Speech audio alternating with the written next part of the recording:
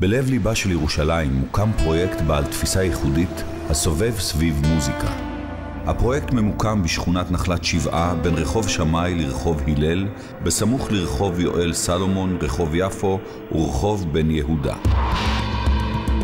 במרכז הפרויקט בימת מופעים הנצפית מכל המסעדות מסביב 350 מקומות ישיבה. בר, ג'אז ומסעדה חלבית. אודיטוריום הכולל כ-300 מקומות ישיבה. מוזיאון המוזיקה יציג את היסטוריית המוזיקה העברית ואת כל כלי הנגינה המקוריים. בית קפה, גלידריה ודירות יוקרה. ברסרי צמוד לאקדמיה למחול. מסעדה בשרית ואולם שמחות.